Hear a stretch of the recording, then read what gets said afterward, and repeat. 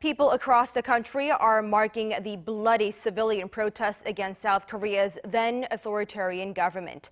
Our Choi Won-jong spoke to an American who witnessed the horrors that occurred in the southwestern city four decades ago.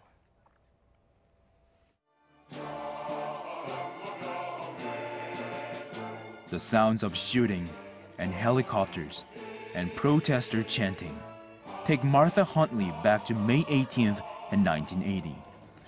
Martha and her family came to South Korea 55 years ago. On May 18th, she was heading home to Gwangju from a family visit in Daejeon.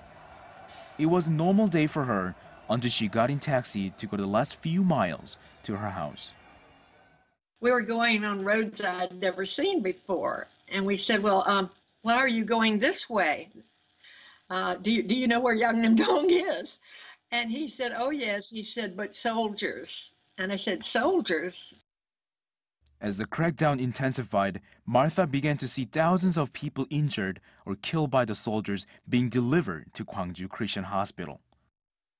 Um, the soldiers, even then in downtown Gwangju, were attacking people. And a number of our friends, because we had so many student friends, were injured very much during that period and they pulled him off the bus and kicked him, kicked him in the stomach, kicked him in the back, kicked him in the head, and he lost an eye.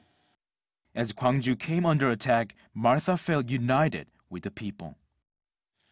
Because we'd been there 15 years, and all of our work was for and with the people of Gwangju. They had shown us nothing but kindness and grace and acceptance. And we honestly believe that if they were all going to die, we should die with them. Martha was frustrated by the government's censorship in the press of what was actually happening. So she and her husband decided to let the world know the truth by the taking pictures of innocent civilians. Martha returned to Gwangju in 2018 to commemorate the anniversary of the May 18th pro-democracy movement.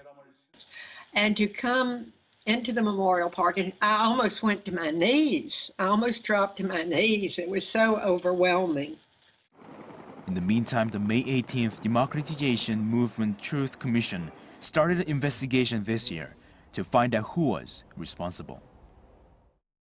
The commission said the goal is to seek truth and reconciliation, not punishment. But the painful memories of the May 18 pro-democracy movement still live on for many people. 최원정, 아리랑 뉴스.